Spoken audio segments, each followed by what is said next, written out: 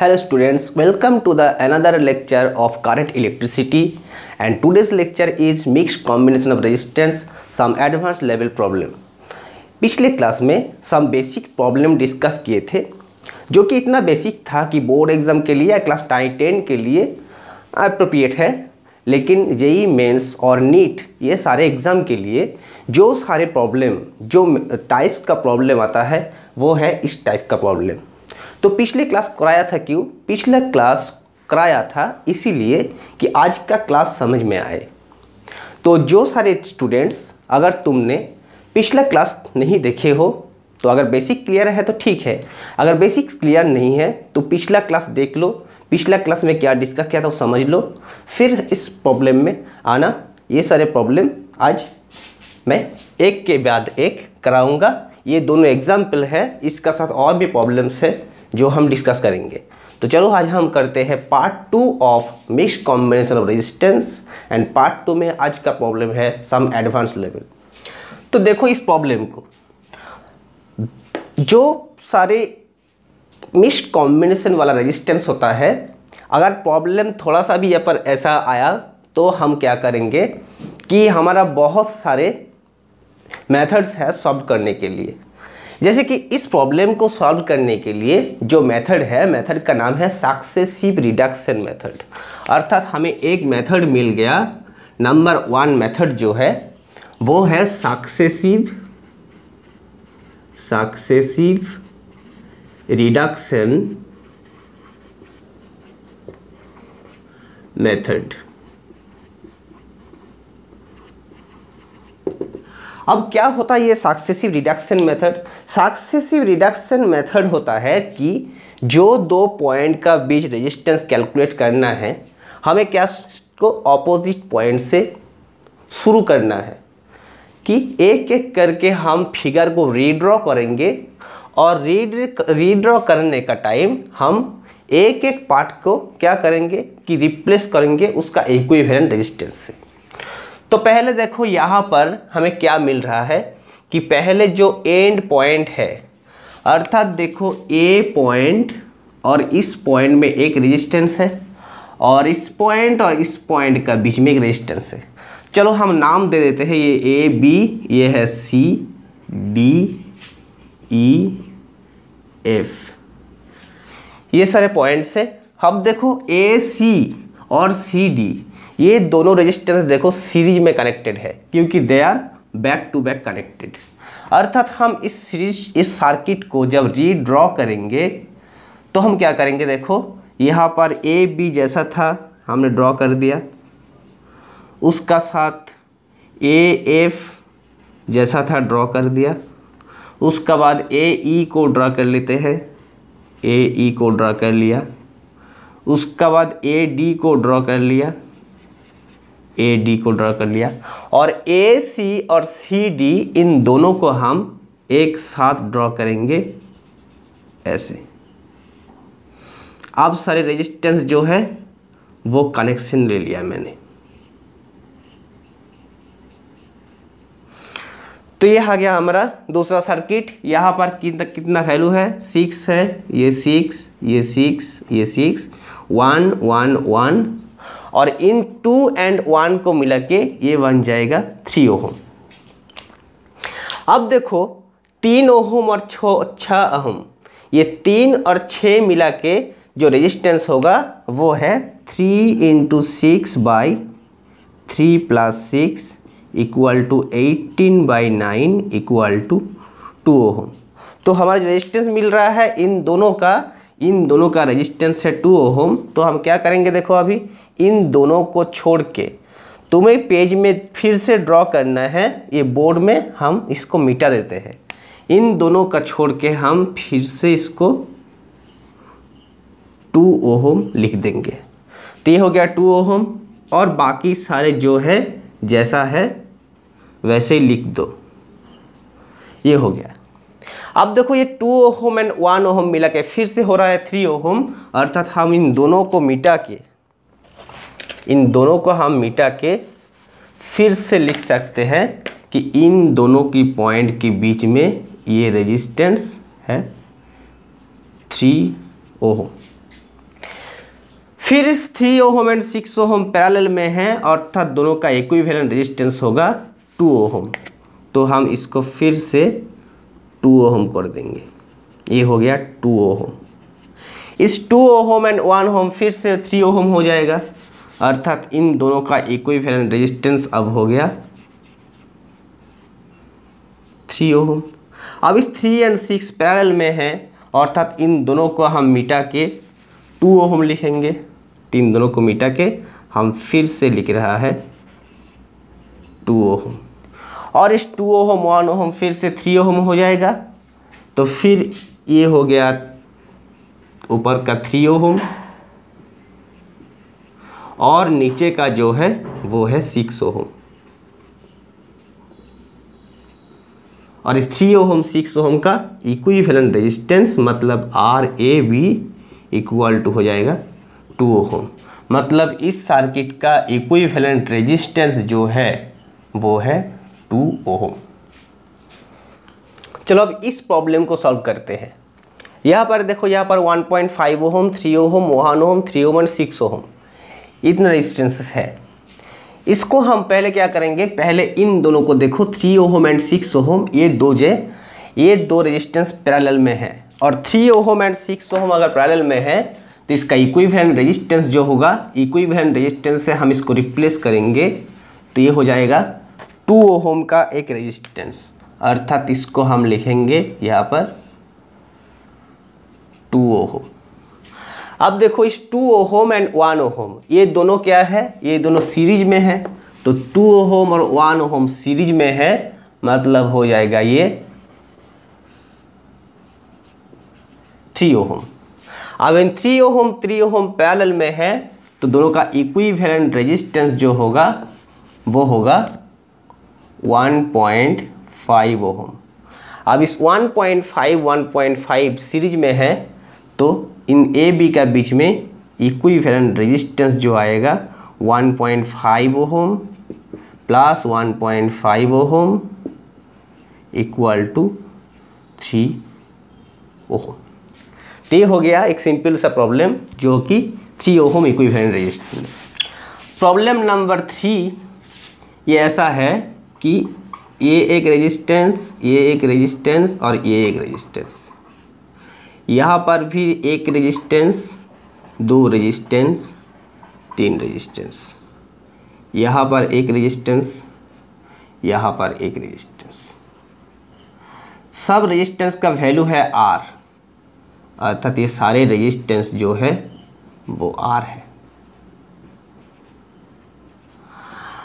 अब इसका equivalent resistance calculate करना है हमें। किस किस पॉइंट का बीच में? ये पॉइंट ए है, ये पॉइंट बी है ये पॉइंट सी है और ये पॉइंट डी है। हमें दो रेजिस्टेंस हम कैलकुलेट करेंगे यहाँ से। क्या क्या? एक है कैलकुलेट करेंगे आर एस डी और दूसरा जो कैलकुलेट करेंगे वो है आर ए बी जब R R A D calculate करेंगे मतलब हम अगर ए पॉइंट और डी पॉइंट में बैटरी को कनेक्ट करते हैं तो हमें देखना है कि इसका इक्विवेलेंट रेजिस्टेंस कितना होगा। और जब हम ए पॉइंट का साथ बी पॉइंट को बैटरी से कनेक्ट करेंगे, तब हमें देखना है कि इसका इक्विवेलेंट रेजिस्टेंस कितना आएगा। तो पहले आर ए डी को कैलकुलेट करते हैं। आर ए डी कैलकुलेट करने के लिए देखो, हम क्या करेंगे? एक सेल को ए डी का साथ कनेक्ट कर देंगे। तो ए डी का साथ एक सेल को कनेक्ट कर दिया। अब देखो, यहाँ पर एक रेजिस्टेंस है इधर। अर्थात ये वाला रेजिस्टेंस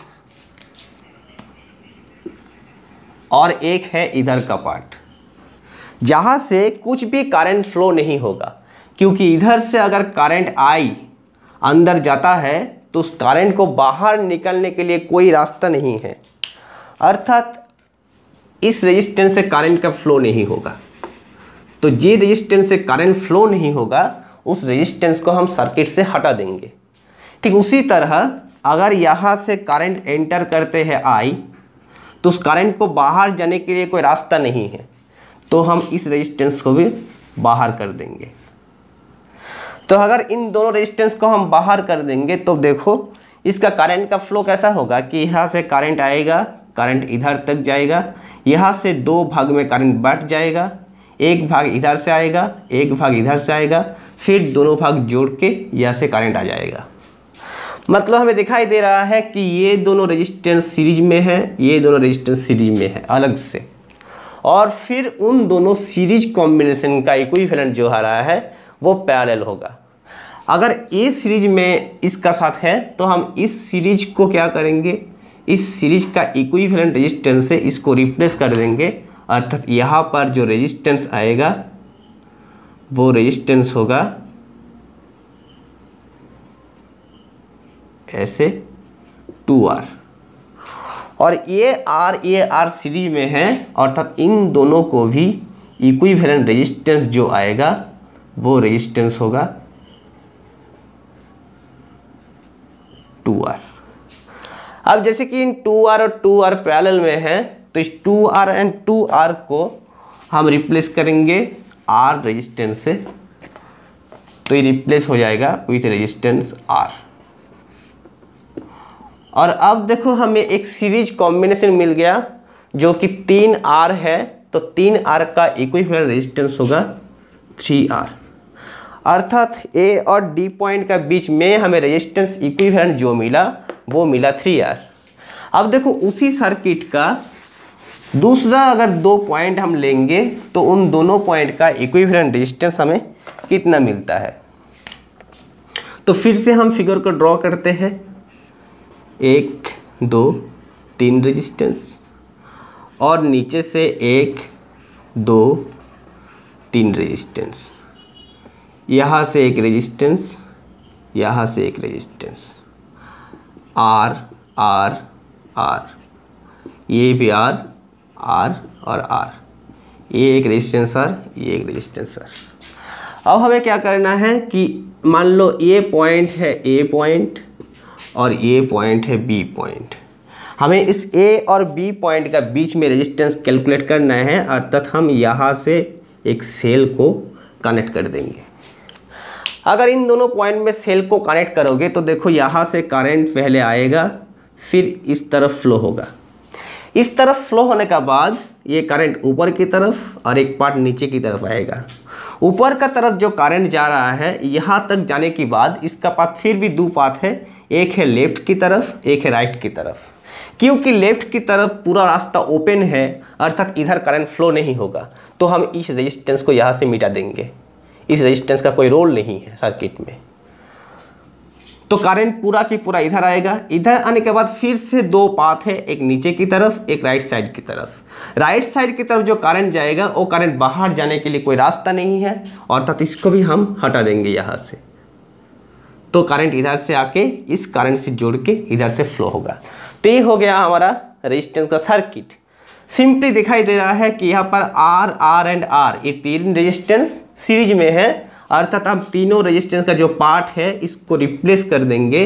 एक ही रेजिस्टेंस से जिसका वैल्यू है थ्री आर तो इसका वैल्यू हो गया थ्री आर अब थ्री आर एंड आर का पैरेलल कॉम्बिनेशन तो इसका इक्विवेलेंट होगा three R into R by three R plus R equal to three R square by four R मतलब थ्री आर बाई फोर तो इन दोनों को हटा के हम लिखेंगे एक रेजिस्टेंस जो कि है थ्री आर बाई फोर तो ये रेजिस्टेंस हो गया थ्री आर बाई फोर अब तीनों रेजिस्टेंस सीरीज़ में आ गया मतलब इक्विवेलेंट रेजिस्टेंस जो होगा वो होगा R plus three R by four plus R R का मतलब है four R by four four R by four तीनों का नीचे फोर है मतलब फोर आ जाएगा.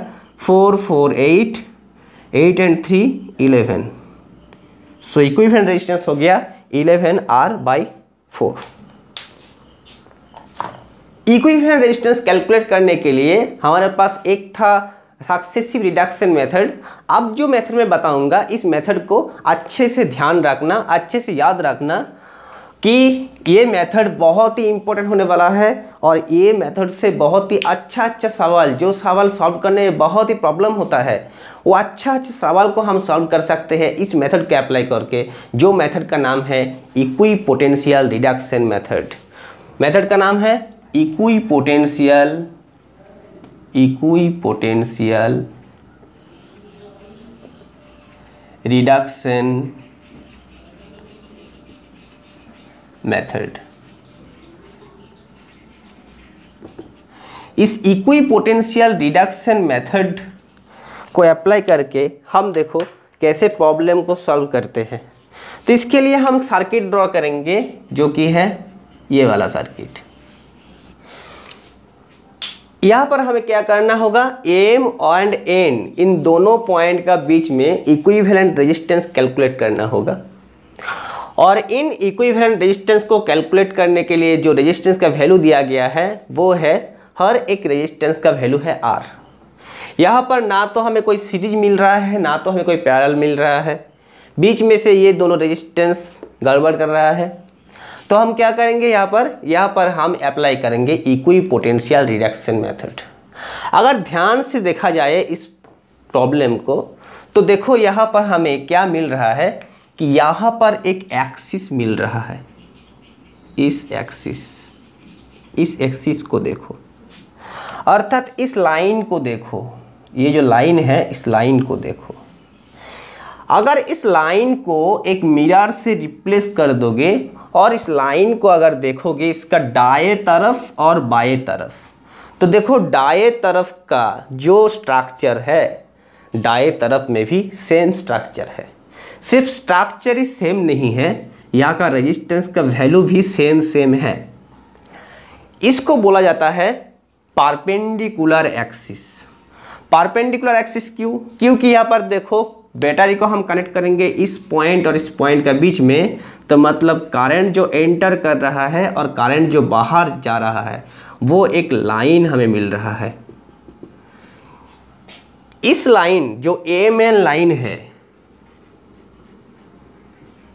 ये एम एन लाइन जो है, इस ए इस एम एन लाइन को बोला जाता है कि देखो एम एन लाइन का ऊपर की तरफ़ जैसा जैसा कनेक्शन है, नीचे की तरफ़ भी वैसा ही कनेक्शन है।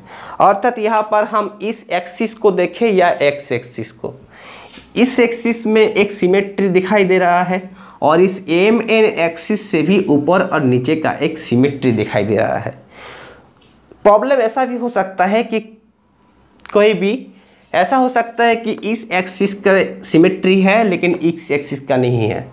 और इसका है, इसका नहीं है, और दोनों का रह सकता है। यहाँ पर दोनों सिमेट्री का एग्ज़ाम्पल लिया मैंने कि एक ही प्रॉब्लम में टू टाइप के सिमेट्री हम बता सकते हैं। तो यहाँ पर एम एन की जो सिमेट्री है, इसको बोला जाता है parallel axis symmetry parallel axis symmetry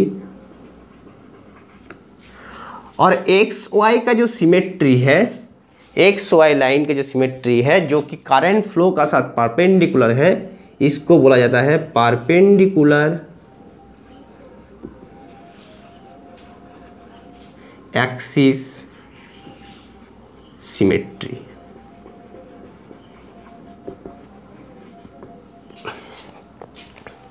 अब इस पैरेलल एक्सिस सिमेट्री अगर है, और अगर पारपेंडिकुलर एक्सिस सिमेट्री है तो इसका फ़ायदा क्या है? तो पहले हम बताएँगे कि पारपेंडिकुलर एक्सिस सिमेट्री का फ़ायदा क्या है। तो देखो, पारपेंडिकुलर जो एक्सिस हमें मिल रहा है, अर्थात इस एक्सिस, यहाँ पर दो रेजिस्टेंस कनेक्टेड है आर आर इन दोनों रेजिस्टेंस को छोड़ के इधर का पार्ट और इधर का पार्ट सिमेट्रिक है। अर्थात तो पहले हम सॉरी पैरेलल एक्सिस सिमेट्री को बोल देता हूँ। पैरेलल एक्सिस सिमेट्री जो है, इस लाइन का ये जो लाइन है, इस लाइन का ऊपर के पार्ट और नीचे का पार्ट सिमेट्रिक है। ऐसा सिमेट्रिक होने से क्या होता है? होता है कि जो सिमेट्रिक रेजिस्टेंसेस है, अर्थात इस पैरेलल एक्सिस के रिस्पेक्ट में, अगर इसको हम नंबर वन लिखेंगे तो इसको हम लिखेंगे वन प्राइम क्योंकि ये रेजिस्टेंस और ये रेजिस्टेंस ये दोनों सिमेट्रिक है। उसी तरह अगर हम इसको टू लिखेंगे तो इसको लिखेंगे टू प्राइम, क्योंकि ये दोनों सिमेट्रिक है। और अगर यहाँ पर हम लिखेंगे तीन तो ये हो जाएगा तीन प्राइम, क्योंकि ये दोनों सिमेट्रिक है। और अगर हम यहाँ पर लिखेंगे चार, ठीक है ना? ये हो जाएगा तीन प्राइम, ठीक है? और यहाँ पर कोई सिमेट्रिक नहीं है। इसका कोई सिमेट्री पार्ट सिमेट्री पार्ट नहीं है। अब होगा क्या कि ये जो सिमेट्रिक ब्रांच है, अर्थात ये ब्रांच और ये ब्रांच इन दोनों ब्रांच में से करंट जो होगा, वो करंट होगा सेम अर्थात अगर यहाँ से आई वन करंट फ्लो होता है तो यहाँ से भी आई वन फ्लो होगा। अगर यहाँ से करंट फ्लो होता है आई टू तो इधर से भी फ्लो होगा आई टू अगर यहाँ से करंट है आई थ्री तो इधर से भी करंट होगा आई थ्री अर्थात सिमेट्री जो ब्रांचेस हमें मिल रहा है, उस सिमेट्रिक ब्रांचेस में से करंट जो होगा, वो सेम होगा। अब पारपेंडिकुलर एक्सिस सिमेट्री को देखो। अगर हम पारपेंडिकुलर एक्सिस सिमेट्री देखेंगे तो क्या होता है कि यहाँ पर देखो जो करंट फ्लो हो रहा है आई वन इधर से भी जो करंट फ्लो हो रहा है आई वन इस पॉइंट का एक पार्टिकुलर वोल्टेज है अब आई वन करंट कितना होता है? According to the Ohm's law current is proportional to the potential difference अर्थात इस पॉइंट और इस पॉइंट का जो पोटेंशियल डिफरेंस है, इन दोनों पॉइंट का भी सेम पोटेंशियल डिफरेंट है।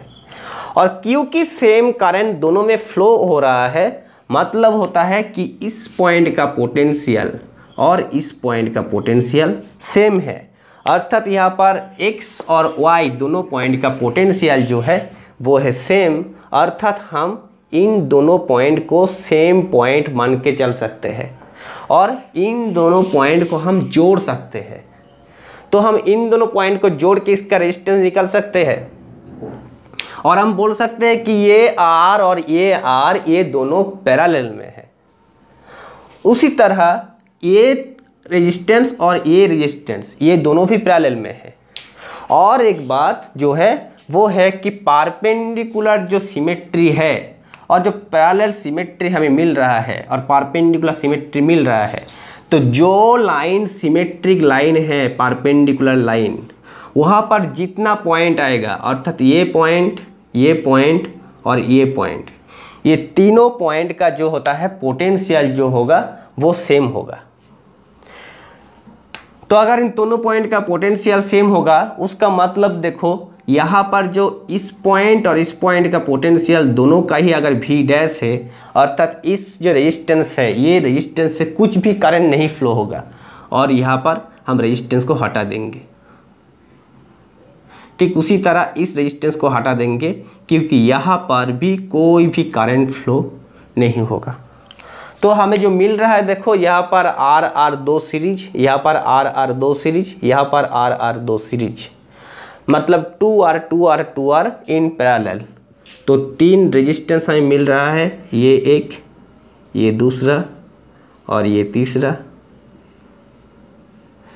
हर एक रेजिस्टेंस का वैल्यू है टू आर और अगर three similar resistances connected in parallel then the equivalent resistance will be equal to individual resistance by three so इसका इक्विवेलेंट रेजिस्टेंस बन जाएगा टू आर बाई थ्री ये तीनों रेजिस्टेंस का वैल्यू है मान लो आर आर आर आर सब रेजिस्टेंस का वैल्यू है आर हमें कैलकुलेट करना है equivalent resistance between A and B अब देखो यहाँ पर जो सिमेट्री मिल रहा है हमें कोई भी यहाँ पर पैरेलल एक्सिस सिमेट्री नहीं है, क्योंकि जहाँ से करंट एंटर करेगा और जहाँ से बाहर आएगा, उन दोनों का नीचे की तरफ़ रेजिस्टेंस नहीं है, ऊपर की तरफ़ रेजिस्टेंस है। मतलब यहाँ पर कोई भी सिमेट्री अर्थात कोई भी पैरेलल एक्सिस सिमेट्री नहीं है। लेकिन यहाँ पर एक पारपेंडिकुलर एक्सिस सिमेट्री है। वो पारपेंडिकुलर एक्सिस जो है, वो है ये एक्सिस इस एक्सिस का रिस्पेक्ट में यहाँ पर सर्किट इधर का सर्किट और उधर का सर्किट दोनों सर्किट जो है, वो सिमेट्रिक सर्किट है। अगर इन दोनों सर्किट सिमेट्रिक है मतलब हम क्या कर सकते हैं कि देखो, कि यहाँ पर करंट का डिस्ट्रीब्यूशन हम कैसे होगा? कि इस रेजिस्टेंस अगर वन होता है तो ये होगा उसका जड़ुआ वन पॉइंट वन प्राइम अगर ये रेजिस्टेंस का नाम देते हैं टू तो ये है उसका जड़ुआ टू प्राइम। अगर ये रेजिस्टेंस है थ्री तो इसके है थ्री प्राइम। और ये रेजिस्टेंस अकेली है। इसका लेफ़्ट साइड का पार्ट और राइट साइड का पार्ट एक दूसरे का इमेज है। यहाँ पर तीन का इमेज है थ्री प्राइम, वन का इमेज है वन प्राइम, टू का इमेज है टू प्राइम। अब क्या होगा कि जो उसका जड़ुआ है उसका क्या होता है? कारेंट जो होगा, वो सेम होगा। लेकिन डिफरेंस एक ही है कि इधर बैटरी का पॉजिटिव अगर कनेक्ट रहेगा और इधर नेगेटिव कनेक्ट रहेगा तो करंट का डायरेक्शन डिफरेंट होगा। मतलब यहाँ पर अगर ऊपर की तरफ़ आई वन करंट जाएगा तो यहाँ पर नीचे की तरफ़ आई वन करंट जाएगा। अगर यहाँ पर राइट साइड में बैटरी से बाहर आई टू करंट आता है तो इधर से आई टू करंट इधर एंटर करेगा। अगर यहाँ पर देखो आई थ्री करेंट है तो यहाँ पर ऊपर की तरफ़ होगा आई थ्री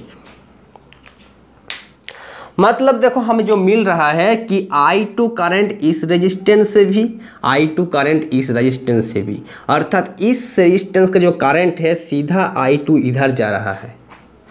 और जो ये दो रेजिस्टेंस है, यहाँ पर भी करंट I3 यहाँ पर भी करंट I3 मतलब I3 करंट इधर से इधर जा रहा है।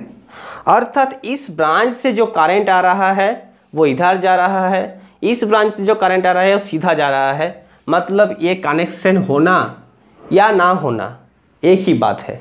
अर्थात हम इस कनेक्शन को यहाँ पर ऐसे बना सकते हैं। किस कनेक्शन को हम तोड़ देते हैं? तो हमें देखो मिल गया ये दोनों सीरीज़ हो गया और ये दोनों सीरीज़ हो गया। अब अगर इन दोनों सीरीज़ को रिप्लेस करोगे तो इस सर्किट कैसे बनेगा देखो? इन दोनों को अगर हम रिप्लेस करेंगे तो यहाँ पर ये दोनों रेजिस्टेंस को हम यहाँ से ड्रॉ कर लेते हैं। सीरीज़ में है, अर्थात टू आर बन जाएगा। इन दोनों रेजिस्टेंस भी सीरीज़ में है तो ये दोनों भी बन जाएगा। Two R.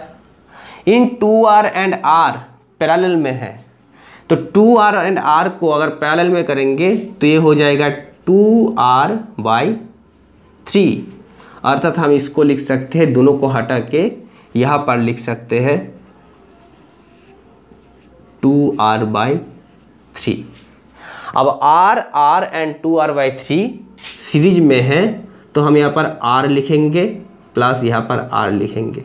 ये आर मतलब three R by three R मतलब three R by three equal to हो जाएगा three three three six eight R by three तो इन तीनों रेजिस्टेंस का वैल्यू जो मिल गया हमें वैल्यू हो गया एट आर बाई थ्री ये हो गया पैरेलल में एट आर बाई थ्री अब हम इसका इक्विवेलेंट रेजिस्टेंस कैलकुलेट करेंगे तो one by R equivalent equal to three by eight R plus one by two R one by two R का मतलब four by eight R eight R eight R LCM ये हो गया seven मतलब are equivalent जो हमें मिल गया, वो हो गया eight R by seven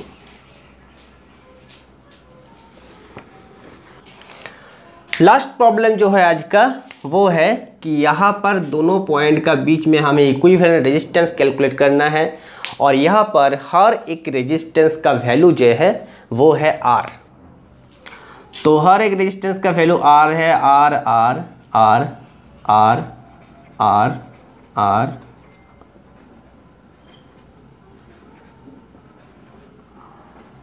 सारे रेजिस्टेंस का वैल्यू है आर और हमें इस ए और बी पॉइंट का बीच में रेजिस्टेंस कैलकुलेट करना है। यहाँ पर हमें दोनों टाइप का सिमेट्री दिखाई दे रहा है। एक है पारपेंडिकुलर एक्सिस सिमेट्री इस एक्सिस का रिस्पेक्ट में और हमें है पैरेलल एक्सिस सिमेट्री इस एक्सिस का रिस्पेक्ट में। यहाँ पर हम सिर्फ़ पारपेंडिकुलर एक्सिस को कैलकुलेट करेंगे और पारपेंडिकुलर सिमेट्री को यूज़ करेंगे। According to the perpendicular axis symmetry A point इस पॉइंट और इस पॉइंट इन तीनों पॉइंट का पोटेंशियल सेम है। अगर तीनों पॉइंट का पोटेंशियल सेम है तो इस रेजिस्टेंस को हम यहाँ से छोड़ा के इधर ज्वाइन कर सकते हैं। इस रेजिस्टेंस को हम यहाँ से छोड़ा के इधर ज्वाइन कर सकते हैं। इस रेजिस्टेंस को यहाँ से हटा के हम क्या कर सकते हैं? इधर ज्वाइन कर सकते हैं। इस रेजिस्टेंस को यहाँ से हम हटा के इधर ज्वाइन कर सकते हैं। और ये रेजिस्टेंस जो है, इन रेजिस्टेंस से करंट फ्लो नहीं होगा, क्योंकि दोनों पॉइंट सेम पोटेंशियल में है। यहाँ से भी करंट फ्लो नहीं होगा, दोनों पॉइंट में सेम पोटेंशियल है।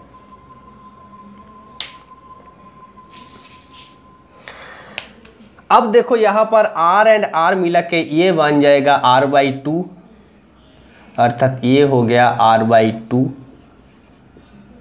यहाँ पर R R मिला के ये भी हो गया R बाई टू ये भी हो गया आर बाई टू इधर ये भी हो गया आर बाई टू और इधर ये दोनों मिला के हो गया are by to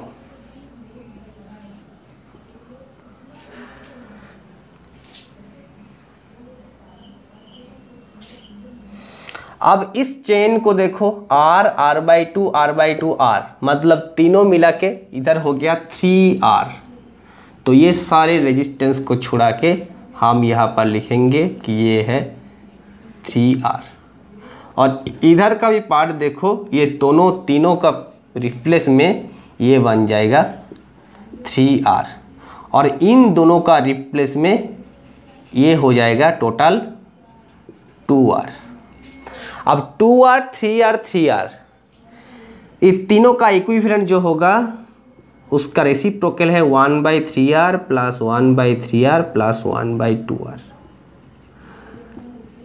six R है LCM two plus two plus three equal to seven by six R अर्थात ये हो जाएगा R equivalent equal to six R by seven ओहो। तो ये है इसका इक्विवेलेंट रेजिस्टेंस